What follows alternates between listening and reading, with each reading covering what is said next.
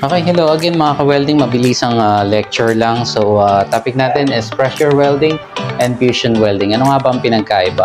Sa pressure welding, ah, karaniwan yan ginagamit ng mga pressure. ha. pressure lang, ibig sabihin, wala kang idadagdag na electrodes. Wala kang idadagdag na, na metal.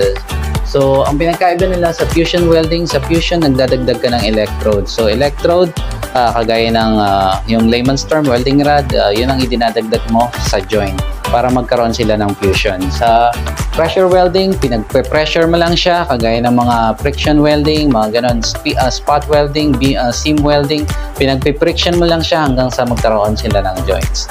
So, yun lang ang pinagkaiba nila, pressure welding and fusion welding. Salamat po. Bye-bye.